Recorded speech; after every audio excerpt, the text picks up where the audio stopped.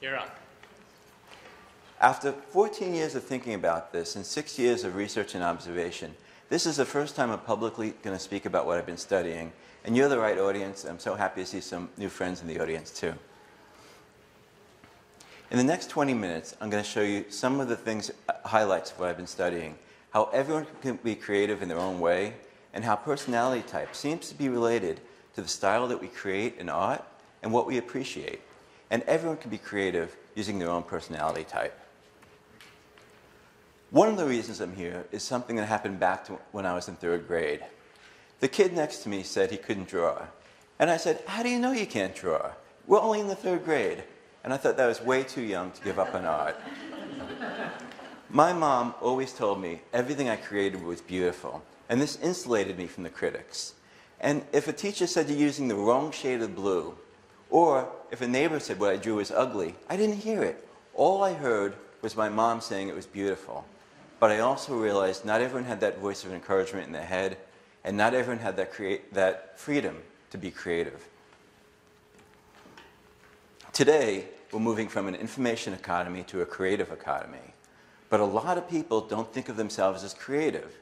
There's a myth that there's one type of creative person, like the Einstein or the Mozart or the crazy guy in the graphics department down the hall, but they never think of themselves, or a lot of people don't think of themselves as creative, but everyone really can be. I had a rare opportunity in my life. My wife was given the opportunity to work in Asia, and for me, that meant I could move to a subtropical island with my family. All my expenses were paid for, but I had one condition. I wasn't allowed to work. if you were stuck with this problem, what would you do? Other expats improved it, they solved it by improving the tennis game, going to the beach, going to bars, boating. Me, uh, as an INTJ, I went to the library. I was fascinated by art history and personality type theory, as many of you are, and I wanted to investigate where the two intersected. I had another great resource. Besides the library and a little bit of time, uh, an incredible resource is Otto Kroeger. 14 or 15 years ago, I went to a neighborhood party in Virginia, and I was introduced to the bartender. Well, it wasn't just the bartender, it was Otto. And I remember the first thing he ever said to me.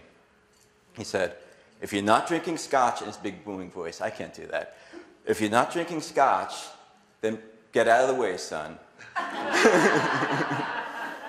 well, I got to know Otto pretty well, and he said to me that he didn't have enough time and I didn't have enough money for him to fix me. but he introduced me to MBTI the same time I was taking an advanced painting workshop. And I was friends with the other artists in the class, and I saw a connection between what they were creating and likely what their likely personality types were. So I took this idea to Otto and his wife Janet at the time, and they liked it, but we were all too busy to do much with it. But everywhere I looked, I saw more and more of a connection. And before I moved to Hong Kong, at one of my going away parties, I again spoke with Otto, and this time we both had time to work on it together. So for this project, we defined art type to be how personality type influences what we create and what we appreciate. Like extroverts collaborate and they work from life. Introverts work alone from their imagination. Claude Monet, as an intuitive, expressed a grand vision, and Norman Rockwell, as a sensing type, expressed rich details. Now, something a lot of people won't tell you about art, especially NTs, is that art is actually very simple. NT is complicated. All art is, it's how we see the world and how we make decisions. It's perception and it's judging. It's really that simple. And art is just a pure expression of our thoughts and our feelings. And it also seems to be related to our energy flow and our outer world orientation. I'll show that a little bit more. Now, a secret that most artists won't tell you is that there's a combination, the artwork is a combination of ideas and techniques. And we all have some ideas sometime. Even people think they don't have ideas, they do have some ideas. And we all are capable of learning technique. Everyone is even capable of learning to draw. This has been shown that if you put the time and the effort in, you can learn to draw. So it's a combination of ideas and techniques together that we could all be creative with. Now, the one, we looked at many different things, and one of the things we did in this process was to look at old masters. And my method of typing wasn't to look at their personal persona or the hype, but to look at their letters, their journals, comments from personal friends. And I know typing people is really tricky business, and I've never met an artist who hasn't learned to say that they're spontaneous. But still, if you read enough of the letters, the type seems to come through. First, I want to talk about the SJs. They're the ones who seem least likely to think of themselves as creative, but they implement new ideas with, through rule-based systems with guidelines. And when they create a composition, it's usually how it's supposed to look. The sky would be blue and the grass would be green. Uh, oh, I'm going to talk about two different SJ artists. Edward Hopper is the first one. He seems to be an ISTJ. And he liked to organize, express details and facts. And he said, My aim has always been the most exact transcription possible of my intimate connections of nature. And he's known for his Nighthawk painting, and his subject matters usually included empty landscapes, deserted uh, figures, urban scenes, um, but isolation, actually. And as an introvert judging type, he said that the picture was planned very carefully in my mind. I have to touch the right spot of my head from this morning's presentation before I start. And his aim, he was inspired simply to paint sunlight on the side of a house. That was what was important to him. And his figures were often solitary looking, like the girl at the sewing machine on the left. And critics criticized him because his figures were too stiff. And he thought the critics missed the point because it wasn't about the figures, it was about the light. He cared about the light streaming down. The figures didn't mean anything to him. Now, another SJ with a one letter difference, uh, ISFJ, was Norman Rockwell. And Rockwell illustrated small town America, and he was a natural storyteller, but instead of using his words, he used pictures. And he included lots and lots of detail in what he painted, and he was known to take hundreds and hundreds of photographs of every subject before he did a painting. And it was said that in order for him to paint an arm, he, he would use the photographs just to get an arm right. I would touch the chair or the, the cuff of a leg of a person's pants. And as a feeling type, he said, I paint what I do the way I do because that's how I feel about it. Now, something the SJs seem to do is they like things to be distinct, and we've noticed this through their artwork. For example, you could see the difference between the baseball bat and the briefcase and the hat and the man. They use sharp focus and natural colors. Now, here's a comparison between the thinking and the feeling SJs. They both use realism, they both include detail, but you don't need a degree in art history to see the difference between how they express people gathering around a meal, feeling the thinking. Next, we look at the SPs. The SPs, they don't like to follow the rules and they're often driven by boredom. And they defy, they shock, and they mock the establishment, according to David Keirsey. And they make practical use of existing items and juxtapose them in ways that others rarely imagine, according to Marci Segal. Now, they, the SPs seem to be inspired to create from the action of creating much more, they're much more in the moment than what will ever be framed later. And Jackson Pollock seemed to take this to a whole different level. He was called an action painter, and he would make these swirls of paint splashing around, and this was a lot of fun for him. And then the paint would fall and hit the canvas, and the artwork was a byproduct of the fun he was having up here splashing things around. And he was an introvert, a man of very few words, but he, in a sense, collaborated with a critic named Clement Greenberg, who was an NT, who seemed to be an NT. And Clement Greenberg attached theory and meaning to Jackson work. And with the theory and meaning together, this is what abstract expressionism came to be about. Another SP was Salvador Dali. He was a larger than life showman who craved action and publicity and drama. And he, um, a lot of times the SPs, they react to something that's spontaneously happening. And he was very famous for his dripping clocks. And that was actually inspired by cheese dripping off the side of a table. So as an SP, he did little advanced planning. He lived in the moment, and he didn't attach meaning to his work. In fact, he said, it's enough to do the painting, much less to try to understand it. Other people interpreted his work quite a bit. I love this picture. As an extrovert of the surrealists, and I like to call them super realists, um, he said I was the only one who went out into society and was accepted by them. And this quote I actually love for an SP. I've never been able to foresee the hysterical and preposterous course of my conduct, and even less the final outcome of my art, for which I'm the first astonished spectator.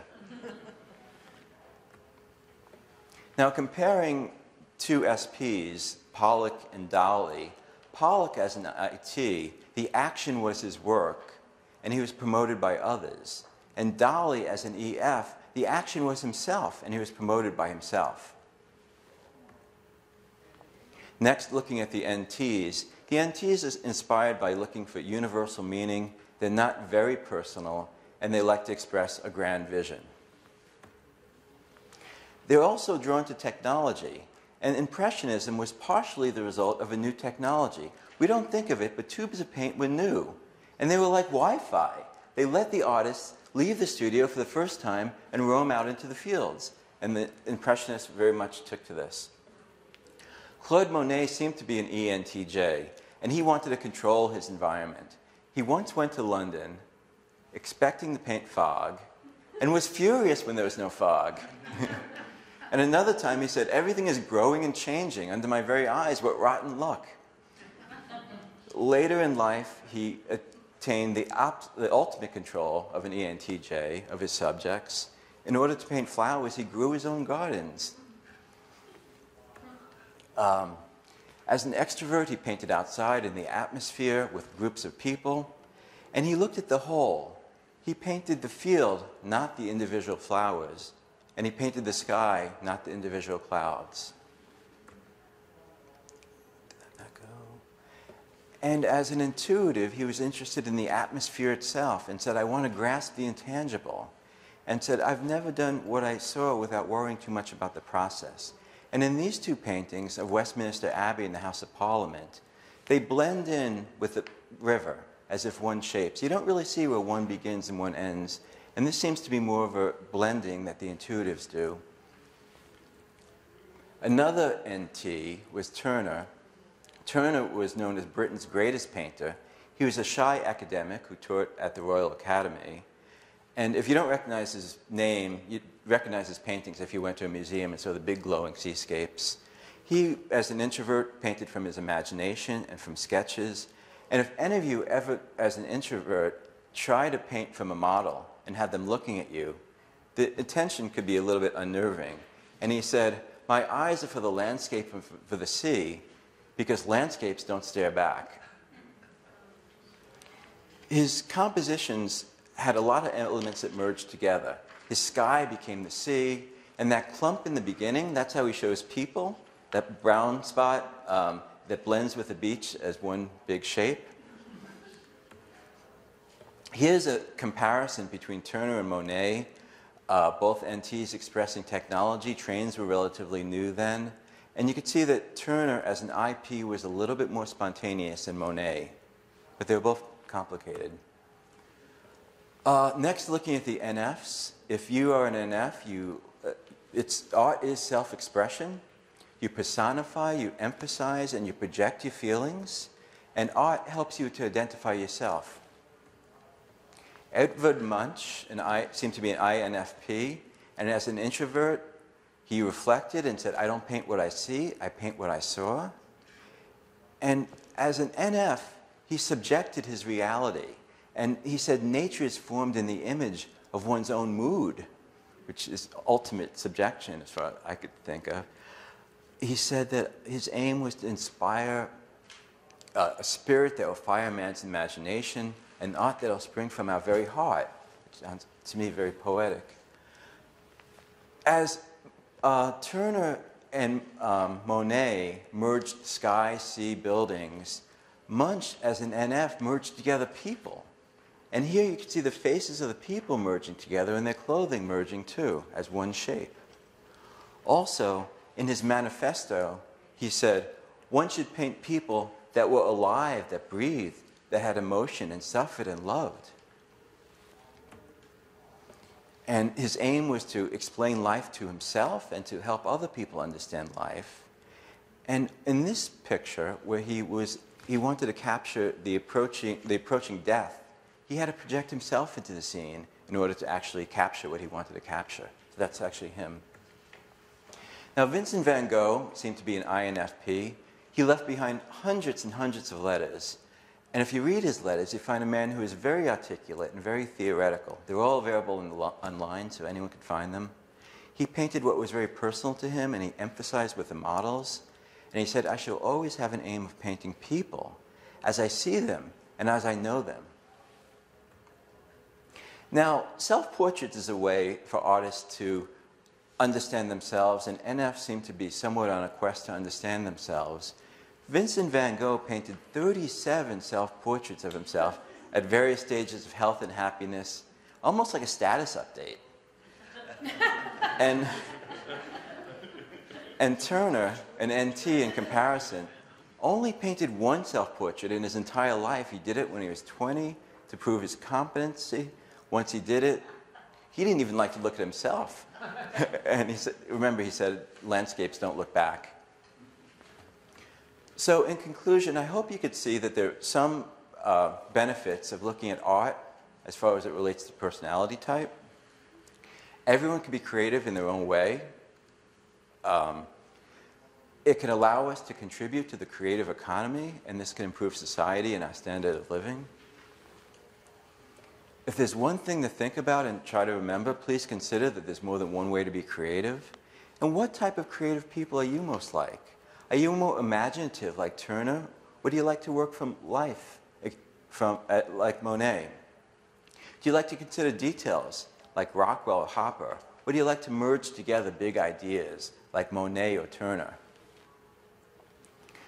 Are you more interested in subjects that are landscapes like Hopper or Turner? Or do you are you attracted to working with people like Munch and Van Gogh? Do you like to plan like Hopper and Rockwell? Or are you more spontaneous like Pollock and Dali? Otto Kroeger says, using type to look at art will teach you more than you ever learn in an art history class and give you more context than you ever learn by going to a museum. This painting is something I did. I was inspired from one of my last trips to California and as an introvert, it was done from photographs after a long reflection. As an intuitive, um, all the shapes merged together, and to me it just says Sonoma. As a thinking type, uh, it's a landscape, and as a judging, it was very carefully planned, and it was finished.